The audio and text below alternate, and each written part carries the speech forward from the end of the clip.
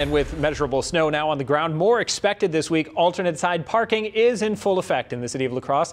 And that means regular parking fines have resumed. Now, tomorrow, the 29th, is an odd day, so make sure to park your vehicle overnight on the odd numbered side of the street.